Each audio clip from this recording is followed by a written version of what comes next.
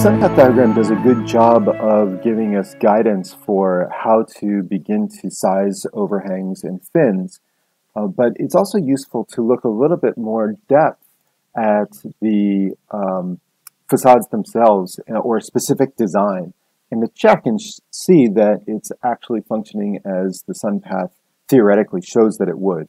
So I'm going to clear these um, angles and I'm going to show you a way of presenting this to yourself so you can understand exactly where the shadows fall and uh, how this works.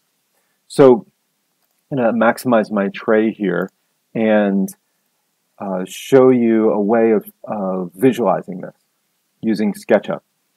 The, um, what we're going to do is make some elevations first. So uh, to make an elevation, um, we want to click into the um, facade and once I've got a face selected, I'm going to right click and select align view. This will align the view uh, to that, uh, perpendicular to that face. And now I'm going to go into view, or sorry, camera, and instead of a perspective, I'm going to go to parallel projection. So now I'm seeing a parallel projection of that entire facade. Now I'm just concerned for this uh, about this facade, these six uh, windows right here. And so I'm going to zoom in and then um, I'm going to make a scene which will capture this for later. So I'm going to press, go to scene, press plus. I'm going to call this scene um, west elevation. And instead of saving the axis location like we did before, we're going to save the camera location in this one. And now I'm going to update that. Um, so now if I go somewhere else and I double click on the west elevation, it'll come back to there. I'm going to do the same on my, for all of my elevations. So in this case, I just have two, west and north. I'm going to do the same thing for my north elevation, align the view, and then I'm going to zoom in on just that north part and make a new scene just for the north elevation. So now I can toggle between the two, west and north. Now I can uh, look at the effect of the shadows. Make sure that your model is geolocated, so you have the right latitude and longitude. In this case, it's, it's not accurately located. It says it's in Chicago. So I'm going to um, clear the location and go back to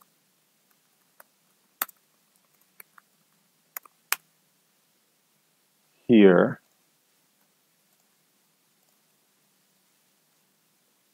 And now it's in the correct latitude and longitude.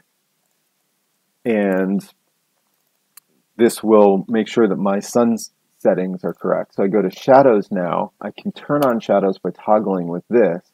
And using this slider or these manual inputs here, I can change the time and date. Now the, the good dates to look at are the extremes of the climate or the particular latitude and longitude, which are going to be the winter solstice, the equinox, and the summer solstice.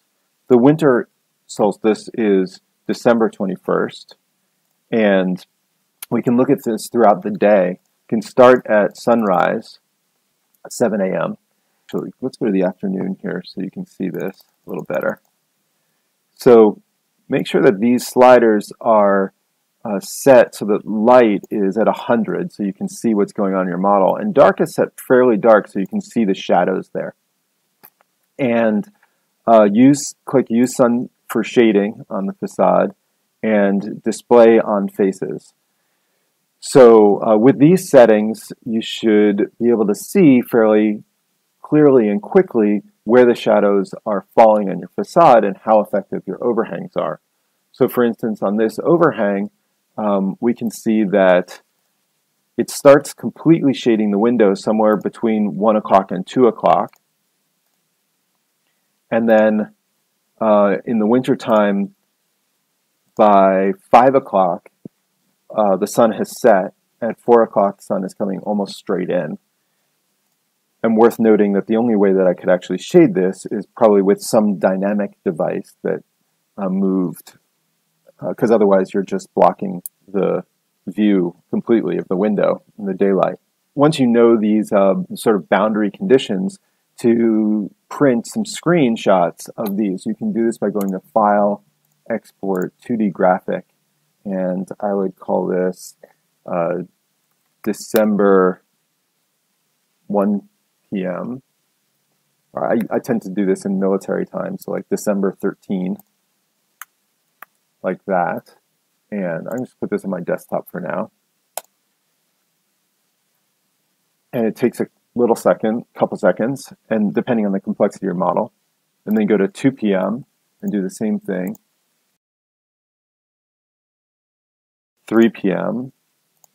and export. By the way, you can go to options here and select the size, but uh, I'm happy with this size.